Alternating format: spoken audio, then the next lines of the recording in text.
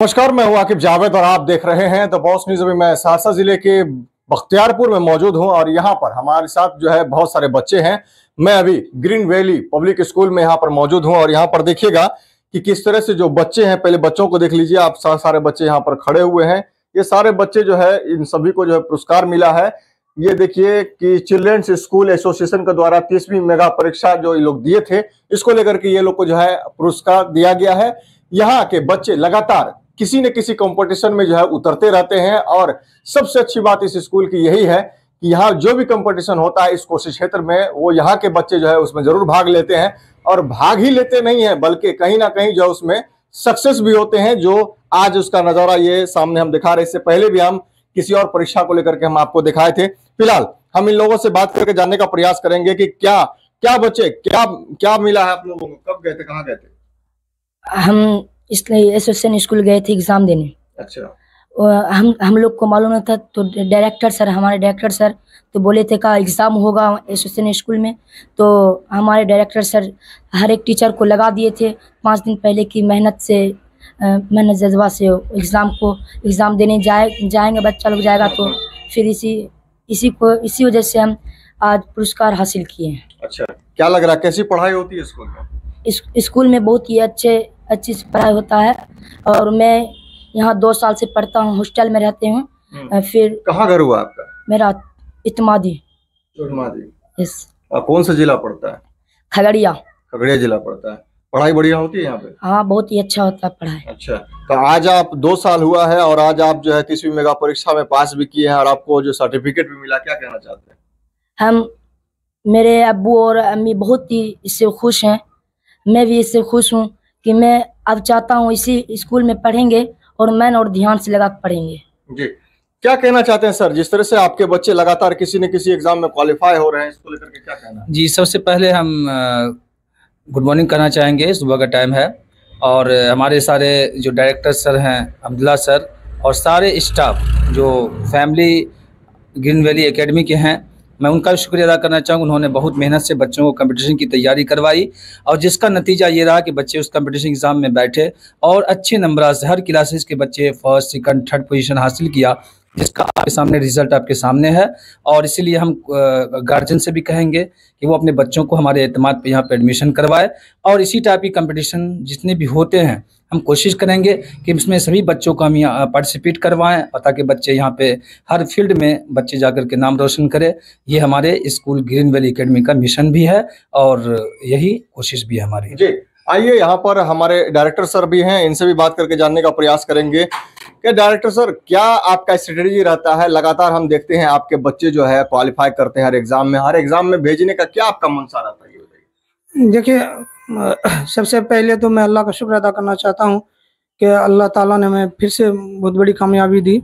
इससे पहले भी कॉमर्स का कोचिंग जब हम यहाँ पर शुरू किए तो कॉमर्स के कोचिंग में जितना भी यहाँ पे कोचिंग था, और सबसे ज़्यादा हमारे स्कूल के हमारे कोचिंग के बच्चों ने इस्लामिया हाई स्कूल टॉप किया, चाहे वो बच्चा पटना में पढ़ रहा हो या भागलपुर में पढ़ रहा हो, लेकिन हमारे कोचिंग का बच्चा जो है सबसे ज़्यादा नंबर इस्लामिया हाई स्कूल में लाया।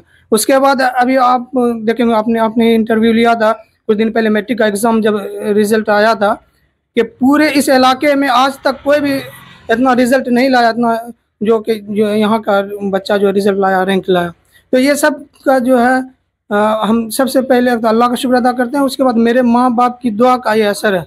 हाँ, हमेशा जो है मेरी माँ और मेरे अबू दुआ करते रहते हैं हमारी कामयाबी के लिए तो सबसे ज़्यादा उन्हीं का असर है उनकी दुआ का असर है कि हम दिन ब दिन तरक्की भी कर रहे हैं।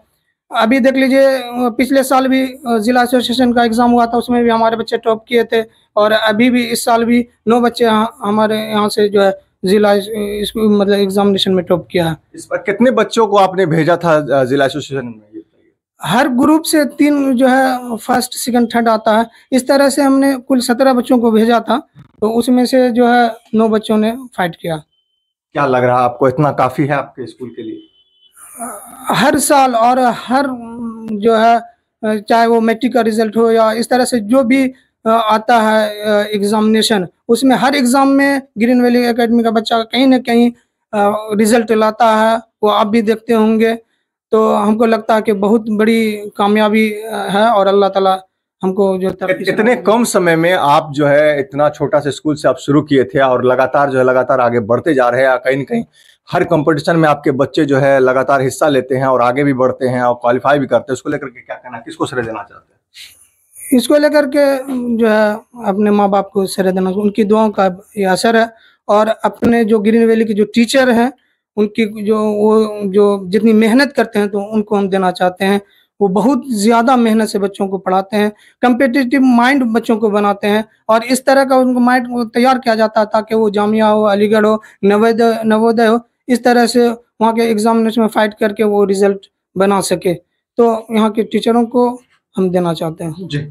कैसा एग्ज़ाम रहा था बच्चा? कैस कितना एग्ज़ाम दिए कैसा दिए थे एग्ज़ाम बढ़िया एग्ज़ाम रहा था? बहुत अच्छा एग्ज़ाम रहा था। हम लोग बहुत अच्छे से तैयारी किए थे। हमारे सर लोग बहुत अच्छे से तैयारी करवाए थे। हमें बहुत खुशी हुई कि आज हम इस मकाम पे पहुँचे। हमें इनाम मिला है। हमारे सर बहुत अच्छे से हम लोग को पढ़ाते हैं। सभी सर बहुत मेहनत से हम लोग को पढ़ाते हैं। कितने दिन से पढ़ रहे हो यहाँ पे? दो साल। दो साल से पढ़ रहे हो? और आज पुरस्कार भी ले लिए सर्टिफिकेट भी ले लिए। यस सर कैसा लग रहा है? हमको बहुत अच्छा लग रहा है। हमारे अम्मी अभी भी बहुत खुश है। हम लोग के इस जी। तो देखिए सबसे बड़ी बात है कि यहाँ पर जितने भी बच्चे हैं वो काफ़ी खुश हैं साथ साथ जो है डायरेक्टर सर भी काफ़ी खुश हैं। दरअसल डायरेक्टर सर को खुश होना भी चाहिए।